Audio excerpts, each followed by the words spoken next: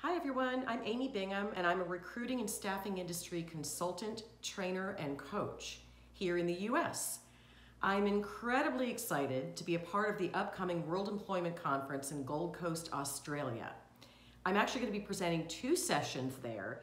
The first is a master class and it's titled Propel Profits by Avoiding These Three Big Mistakes. I've been consulting to small to mid-sized firms in the US for many, many years, and I've been in the industry myself. I've worked in the industry for 25 years. And there are three things that owners of staffing firms in particular can fall prey to, three traps that impede growth.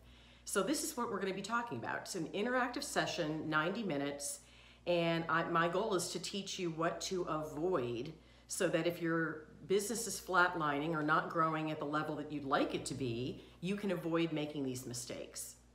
The second is a keynote, and that's on Friday, November 1st, and that is titled The Best of the US, the best kept secrets of the highest performing staffing firms in the US.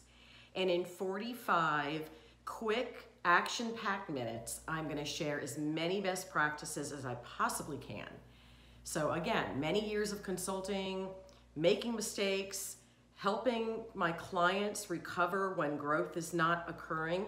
I'm super excited to be able to share the best of the US with you at the World Employment Conference at the end of October. See you there.